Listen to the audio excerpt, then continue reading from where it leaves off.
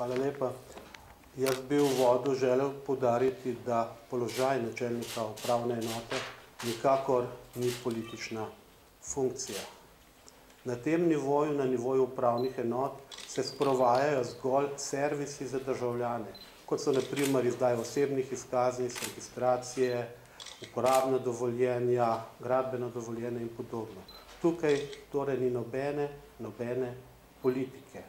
Zato težko razumem, da se minister odloča na ta način. Ravno zaradi tega, ker nivo upravnih enot niso politične funkcije, v vladi Janeza Janše nismo razrešili nobenega načelnika upravne enote predčasno, na kateri smo celo podaljšali mandate, da so se potem izvedli razpisi.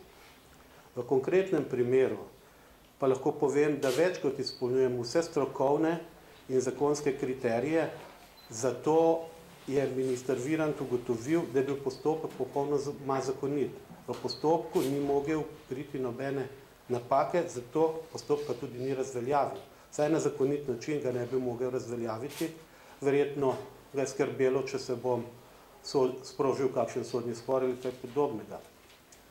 Imel pa je možnost po petem odstavku 83. člena, ki mu dejansko omogoča zamenjavo položajnih funkcionarjev oziroma službencev v času enega leta od svojega nastopa. Ker sem, zato je moral pustiti, da sem nastopil funkcijo, bil en dan na funkciji, naslednji dan me razrešil. Razloge vam bo verjetno sam še najboljše pojasnil.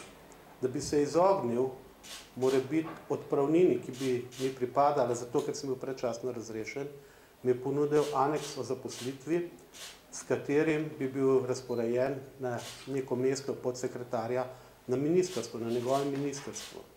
Jaz osebno si težko predstavljam oziroma ne razumem, kako si minister Virant predstavlja, da, kot, da z menoj kot značelnikom upravne enote ne bi mogel kvalitetno sodelovati, z uslužbencem na svojem ministrstvu, to se pravi na organu, kjer se pa dejansko sprovaja politika, bi pa lahko sodeloval.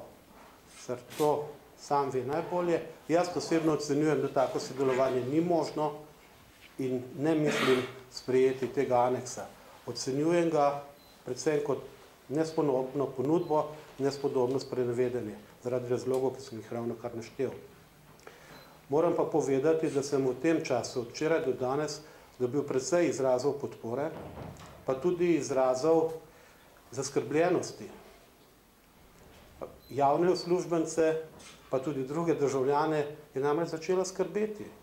Če se trenutna vlada spušča na nivo, na tako nepolitične organe, kot so nivoji upravnih enot, jih skrbi, kaj bo jutri z njimi. Kajti to, kar se danes zgodilo meni, se jutri lahko zgodi drugim državljanom.